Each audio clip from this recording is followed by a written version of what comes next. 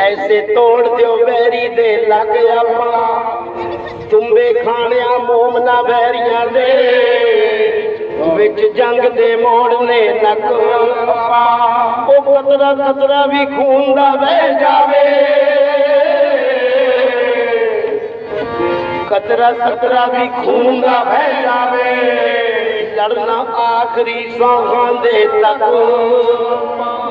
ਜਿੱਥੇ ਟੱਕਰਾ ਵੈਰੀ ਦਾ ਅਸਾਂ ਕਰਨਾ, ਹੁਣ ਐਸੇ ਟਿਕਾਣੇ ਨੂੰ ਮੱਲਣਾ ਹੈ।